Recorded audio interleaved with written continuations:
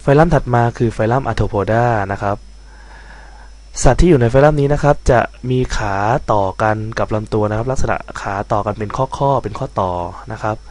เป็นสัตว์ที่อยู่ในกลุ่มที่มีจำนวนมากที่สุด เพราะว่าเนื่องจากแมลง เป็นสมาชิกในกลุ่มนี้ด้วยนะครับ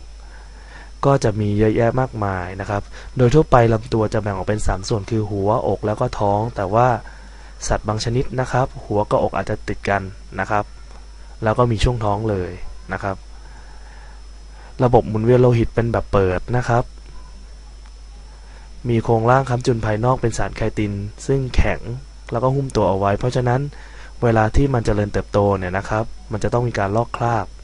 แล้วก็อาจจะมีการเปลี่ยนแปลงรูปร่างขณะเจริญเติบโตด้วยนะครับ ที่เราเรียกว่าเมตาบอลฟอซิสเช่นในมแมลงนะครับ จะเปลี่ยนแปลงรูปร่างจากไข่เป็นตัวหนอนนะครับ ซึ่งมีหลายระยะแล้วก็เป็น ดักแด้ แล้วก็กลายเป็นตัวเต็มวัย มีหลายกลุ่มนะครับ ไม่ต้องจำชื่อคลาสนะครับ ดูเป็นกลุ่มๆ อย่างกลุ่มแรกก็คือคลาสมาโลสโตมานะครับ ก็ได้แก่พวกแมงดาทะเลชนิดต่างๆ ซึ่งในประเทศไทยมี 2 ชนิด คือแมงดาจาหางเหลี่ยมนะครับ กับแมงดาถ้วยนะครับหางกลม ซึ่งไข่มีพิษนะครับ หลาจะเรียกอย่างว่าตัวเฮลากลุ่มที่ 2 คืออลังนีดานะครับ ก็ได้แก่พวกแมงที่ต่างๆนะครับ ก็คือแมงมุม แมงป่อง หมัด เห็บไรนะครับ พวกนี้นะครับ มีขาเดิน 4 คู่นะครับ 8 ขา กลุ่มถัดมาคือคลาสเตเชียนะครับ เป็นสัตว์ที่เราคุ้นเคยกันดี เพราะว่าเราใช้เป็นอาหารนะครับ ก็ได้แก่พวกกุ้ง พวกกั้ง พวกปู นอกจากนี้ยังรวมถึงไรน้ำนะครับจักรจั่นทะเล แล้วก็เพลียงหิน เพียงเจาะเรือ เพลียงคอหานนะครับ นี่ก็คือสัตว์ในกลุ่มนี้นะครับ เป็นสัตว์ที่มีความสำคัญทางเศรษฐกิจนะครับอันนี้คือเพลียงหินนะครับ ที่เกาะอยู่ที่เปลือกของหอยแมงผู้ กลุ่มต่อมานะครับก็คือดิโพโพดาก็ได้แก่พวกกิ้งกือชนิดต่างๆนะครับ แล้วก็ไดโพโพดาก็ได้แก่พวกตะขาบชนิดต่างๆ และกลุ่มสุดท้ายซึ่งเป็นกลุ่มที่มีขนาดใหญ่มากที่สุดในไฟลัม Arthropoda ก็คือ Insecta นะครับ เป็นกลุ่มของแมลง มีขาเดินทั้งหมด 3 คู่นะครับ ก็ได้แก่แมลงทุกชนิด มาถึงไฟลัมที่ 8 นะครับ ก็คือ Echinodermata นะครับ เป็นสัตว์ที่ผิวตัวมีหนามปกคลุมนะครับ ลำตัวก็จะมีสมมาตรเป็นแบบรัศมีนะครับ อาจจะมีลักษณะโครงสร้างที่เรียกว่า tube feet นะครับช่วยในการเคลื่อนที่นะครับ โดยที่ภายในลำตัวนี่เป็นระบบท่อน้ำนะครับแล้วโครงร่างภายในลำตัวก็จะเป็นโครงร่างที่เป็น hydroskeletonคือเป็นน้ำนะครับอยู่ภายใน เวลาจับหงายท้องดูนะครับ ในกลุ่มของดาวทะเลจะเห็นทิวฟีดอยู่นะครับ นี่คือทิวฟีดตัวอย่างของสัตว์ก็ได้แก่นะครับ ดาวทะเล ดาวเปราะดาวมงกุฎน้ำดาวขนนกคือกลุ่มดาวทั้งหมดนะครับ ดาวทะเล เม่นทะเล ปลิงทะเล เหรียญทะเล อีแปะทะเลพระพึงทะเล แล้วก็แตงกวาทะเลนะครับ เหรียญทะเลนี่อาจจะเรียกว่าเหรียญทราย หรือว่าอีแปะทะเลก็ได้นะครับ สัตว์ในไฟลัม Echinodermata ทุกชนิดนะครับ จัดเป็นสัตว์ทะเลทั้งหมด แล้วมาถึงไฟลัมสุดท้ายนะครับ ก็คือไฟลัม Chordata ซึ่งมนุษย์เราก็จัดอยู่ในไฟลัมนี้ด้วยนะครับลักษณะสำคัญของ Chordata จะมีอยู่ 3 ข้อนะครับ ก็คือจะต้องเคยมี notochord มีช่องเหงือก แล้วก็มี dorsal nerve cord อยู่ในช่วงใดช่วงหนึ่งของชีวิตนะครับ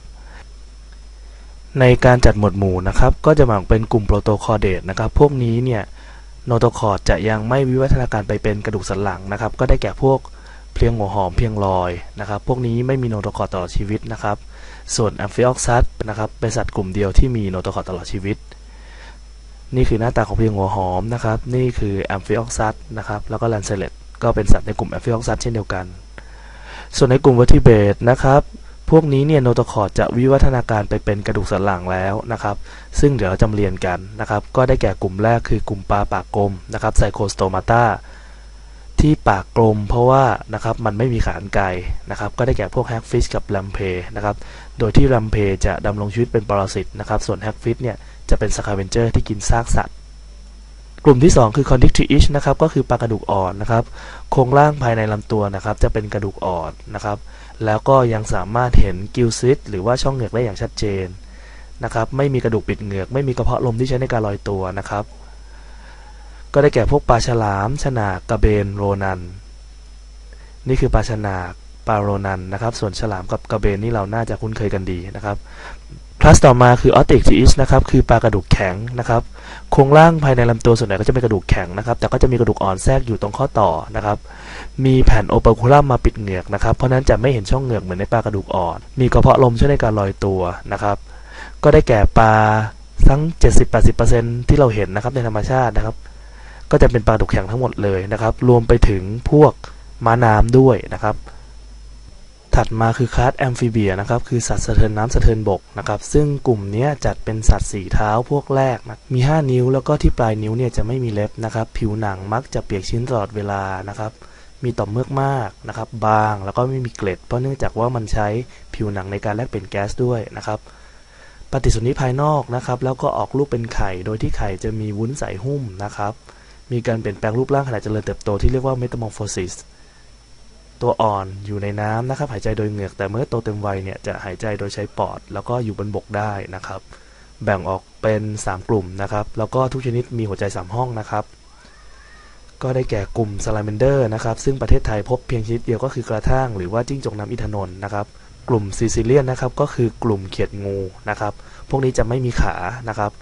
แล้วก็กลุ่ม anuran ซึ่งเราคุ้นเคยกันดีนะครับ ก็คือพวกกบเขียดนะครับอึ่งอ่างคางคกต่างๆ นี่คือพวกซาลาเมนเดอร์นะครับ ซึ่งต่างประเทศมีเยอะนะครับ แล้วก็ตัวใหญ่มากนะครับ แต่ประเทศไทยมีเพียงแค่ชนิดเดียว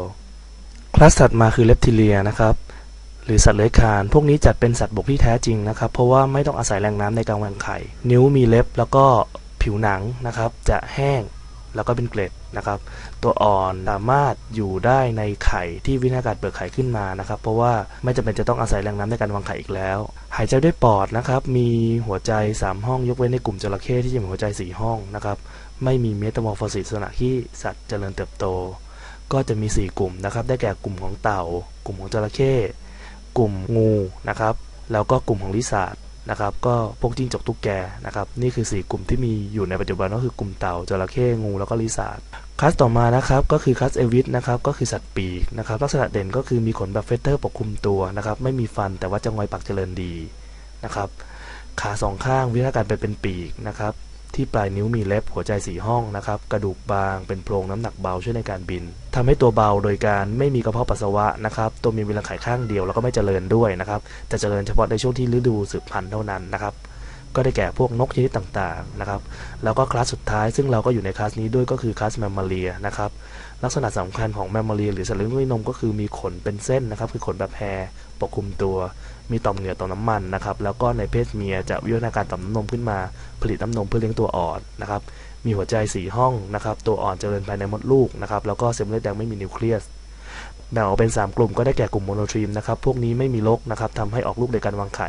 ก็ได้แก่ตุ่นปากเป็ดและตัวกินมดไข่เม่นนะครับ กลุ่มที่ 2 ก็คือกลุ่ม marsupial นะครับ พวกนี้รกเจริญไม่ดีนะครับ ตัวอ่อนต้องออกมาแล้วก็เจริญต่อในถุงหน้าท้องนะครับ ก็ได้แก่พวกจิงโจ้นะครับ โคอาล่า wallaby และสุดท้ายก็คือกลุ่มของ placental นะครับ ก็ได้แก่พวกหมาแมวนะครับลิงค่างบ่างชะนีนะครับช้างม้าวัวควายรวมทั้งคนด้วย พวกนี้นะครับรกพัฒนาดีแล้วก็ตัวอ่อนเจริญอยู่ในรกนะครับ นี่ก็คือทั้งหมดนะครับ คุณลองไปสรุปดูอีกครั้งนะครับ สัตว์ทั้ง9ไฟลัมนะครับ